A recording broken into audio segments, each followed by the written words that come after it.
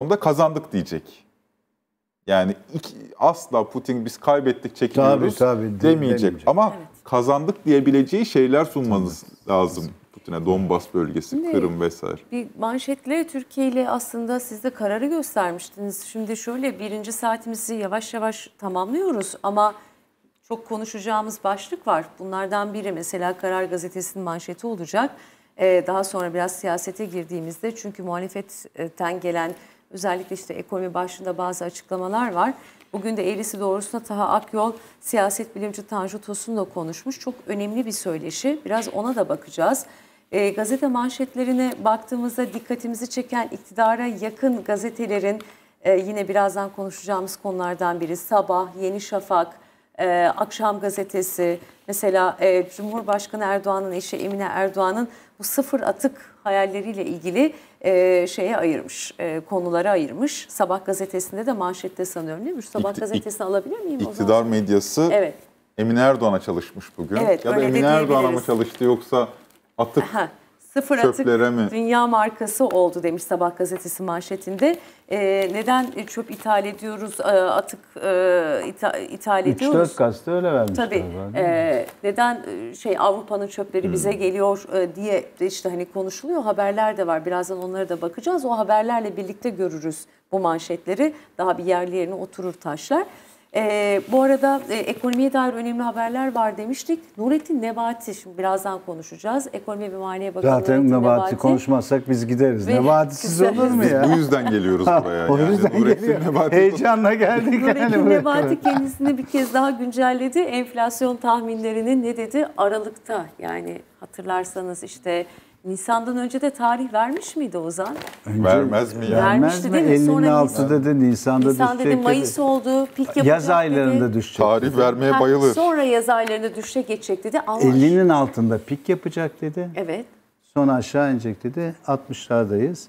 Sonra da yaz aylarında inecek dedi. Şimdi, Şimdi on- ne diyor? Aralıktan Aralık diyor. sonra inecek dedi. 2022'yi gözden çıkardılar. Yani zaten belli ki bir şey olmayacak. Ee, bugün hakikaten bu haber üzerine Nurettin Nebati'nin bu açıklaması üzerine epey duracağız. İyi çalıştık. Köşe yazarlarımız var. Alacağımız, Onun siyasi yansımaları falan, Siyasi o yansımaları uzun- var. Bu arada Eğlenceli konumuz var yani 9'dan sonra. Evet. Ee, Zevkle. Aa daha varmış da bu arada reklam süremize. Ben biraz panikledim acaba Ben o zaman- kapatıyor muyuz diye. E, şeyi söyleyelim sen paylaşımını yap. Necati'nin Ozan- haberine girelim Nurettin istiyorsun. Nebati Hazırlık olsun. iftar programında konuştu. Müsiyad'ın iftar programına katıldı. Pazardaki fiyatların farkındayız. Biz dahide yaşamıyoruz dedi. Hani bir dilde de değişime gidildi ya artık kabullenme aşamasına gelindi ama çözüm üretilemiyor. Nurettin Nebati bir kez daha dediğimiz gibi enflasyon düşüş tarihini verdi. Bir kez daha güncelledi ve aralığı işaret etti. İşler iyi olacak, daha iyi olacak Allah'ın izniyle. Enflasyon yavaş yavaş yoluna giriyor ve Aralık ayından itibaren bu ülkede her ay enflasyonun nasıl düştüğünü hep beraber göreceğiz. Hani hep de hayal edersiniz de şöyle bir uyusam da 6 ay sonra uyansam diye. Bir uyuyun 6 ay sonra uyanın Türkiye'de. Enflasyon şu anda yüzde altmışın üstünde. Problem mi? Problem.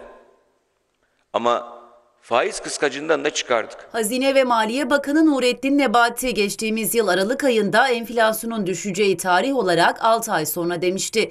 Bu kez 2022'nin Aralık ayını işaret etti. Pazardaki fiyatları biliyoruz. Biz ayda yaşamıyoruz. Bu ülkede yaşıyoruz. Otobüse de biniyoruz, minibüse de biniyoruz. Hiç merak etmeyin. Bu dünyadan kopuk yaşamıyoruz. Sıkılmayın. Canınızı sıkmayın. Değererek edin, üzülmeyin. Enflasyonla ilgili bir sıkıntımız var. Aşıyoruz, aşacağız. Türk lirasına güveni artırıyoruz. Türkiye ekonomisini faiz kur kıskacından çıkardık. İktidar cephesinden hayat pahalılığını kabul eden açıklamalar peş peşe geliyor. Hazine ve Maliye Bakanı Nurettin Nebati'den biz de ayda yaşamıyoruz çıkışı geldi. Bakan fiyatlardaki artışların farkında olduklarını söyledi. Gözlerime bakar mısınız? Ne görüyorsunuz? Ne görüyorsunuz gözlerinde? Ekonomi gözlerdeki ışıltı. Zorluklar var, sıkıntılar var. Enflasyonu görüyoruz. Her zorlukta merak etmeyin. Kesinlikle bir kolaylık vardır. İnanan bunu bilir. Bu milletin, gençlerin, kadınların, çocukların, iş dünyasının, çalışanların ne istediğini biliyoruz. Ve sıkıntıları paylaşıyoruz. Bu sıkıntıların üstesinden gelecek azmi de ortaya koyuyoruz. Mücadelemiz belli. Ne yapacağımızı biliyoruz. Evet. Nebati'nin son açıklamaları böyle. Ee, ne, ne, ne yapacağımızı biliyoruz dedi ya. Evet. Ne yaptıkları bili, ne yaptıkları buysa vay halimize diyeceğim. Evet. Bir daha bölümde Evet, saat 9'da konuşacağız. Bu arada tabii e, vatandaşın gündemi Hazine ve Maliye Bakanı Nurettin Nebati böyle söyleye dursun. E, pazarda, çarşıda her yerde fiyatlar el yakıyor. E, pazar tezgahına gidenler gözlerine inanamıyor. Şimdi başta mazot olmak üzere artan maliyetler, soğuk hava derken fiyatlar rekor kırdı. Şimdi geçen seneki gibi 3 liraya 5 liraya ürün bulunamıyor pazar tezgahında. Yeşillikler, mesela dereotu, maydanoz inanılır gibi değil ama 13-14 liraya demetim e, dereotunun satılıyor. Onlar artık herhalde anladığım kadarıyla Türk mutfağının vazgeçilmezi olmamaya başladı. Yani artık dereotu da koymayı verelim.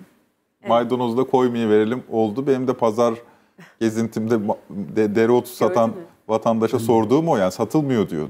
E ne yapıyor diyorum artık yemiyor mu vatandaş? Dereotsuz yemek yenir diyorlar. Artık aynen öyle. Olmasa da olur. Olmasa da olur Maalesef diyorlar artık öyle. yani. Bazı yemekler artık sofralarda yer bulmuyor. Evet. Yani olmazsa olmazı vardır ya o yemeklerin. Aman canım deniliyor. O yemekler sofradan Ya kaldırılıyor. ben de başıma gel bak nasıl insanlar alışıyor.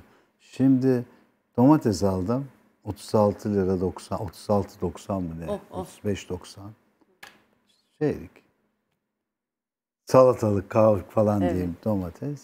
Sonra bir şey daha falan alırken bir baktım bir yerde yemeklik domates gibi böyle var. 14.90.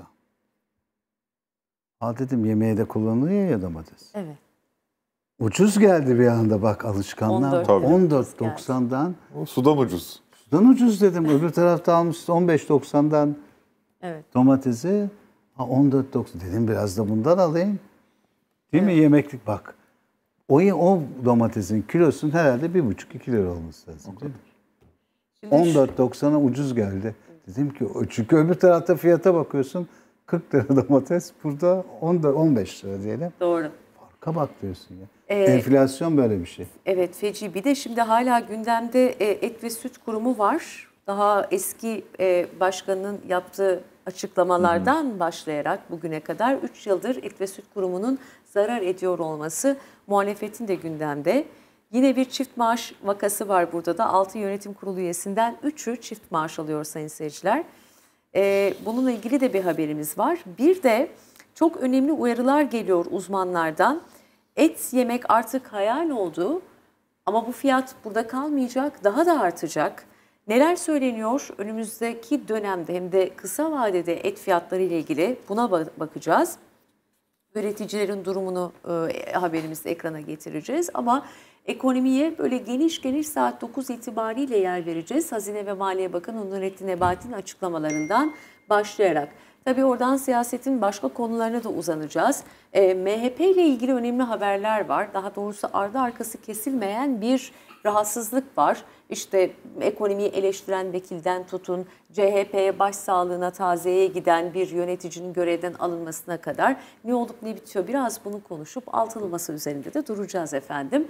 O yüzden bize kalın. Neden sonuçta başladık aktif ekranlarında yeni haftaya saat 9'da da yine önemli konularla devam edeceğiz. Görüşmek üzere.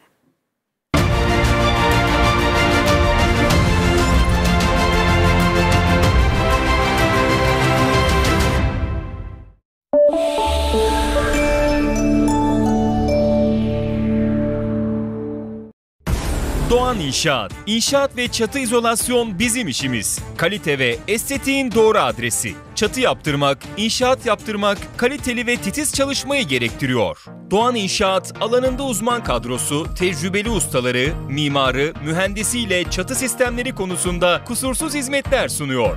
Doğan İnşaat'ın yapmış olduğu çatı sistemleri, dış cephe ısı yalıtım mantolama sistemleri, konut ve iş yeri ısıtma ve soğutma konusunda faturalarda %50'ye varan tasarruf imkanı sağlamaktadır. Yaşam alanlarınız yazlık, konut ve